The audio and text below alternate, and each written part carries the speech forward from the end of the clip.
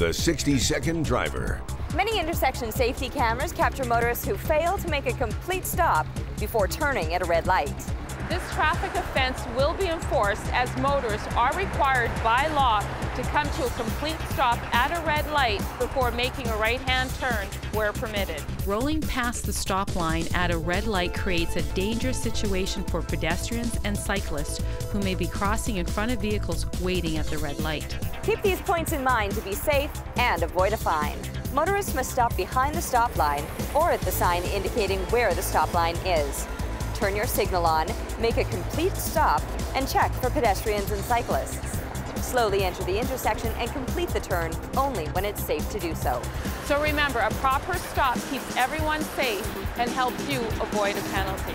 For more driving tips, watch the 60 Second Driver Thursdays at 6 on CTV News. Brought to you by Manitoba Public Insurance.